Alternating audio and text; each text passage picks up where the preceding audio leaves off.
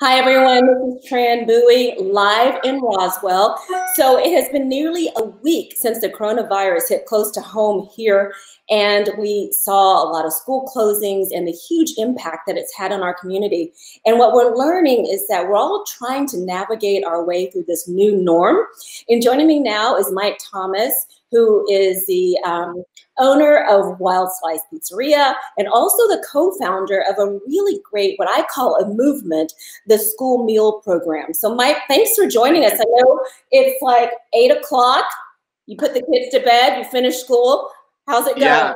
And so a lot of people kept going to the gym and gym owners like Rick Banks at SFX Fitness took precautions. And Rick is now with us live from his Fitness Center. Hi, Rick. Thanks for joining us today. We are entering week two of in-home learning, online classes, and teleschooling. So we have heard a term during this coronavirus crisis that has actually impacted our families, our lives, and our community. Yes, I'm talking about social distancing. That's where they say to stand back, stay away, and go home. Joining me now is Andy Williams, who is the executive director of Visit Roswell. Andy, for someone who this is your job to get people out and about, this has got to be tough. Thank you for joining us tonight. We are live because we are keeping our social distance. Um, so, the big news today is that we are having to postpone the largest fundraiser of the year. Um, we knew this was coming.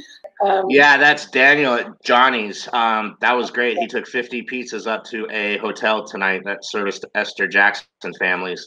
Um, and we let him know it was there, and he had a chance to get all the you know and see all the kids. And the biggest thing I think for us has, has been the total shift in messaging.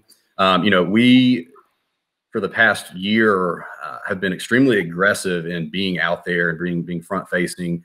Uh, and convincing of people to come into Roswell to uh, not only book group business, but uh, from the leisure side as well. And that's shifting. SFX has been here for 13 years.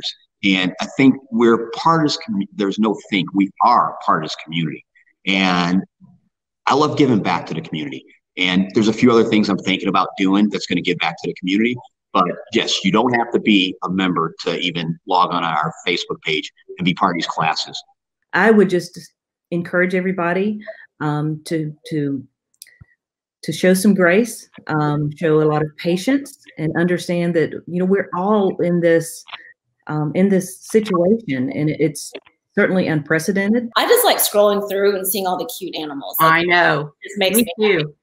I know. I just can't. I'm looking forward to the day that we can go back and cuddle with all of the cats and dogs again. You know, I would love.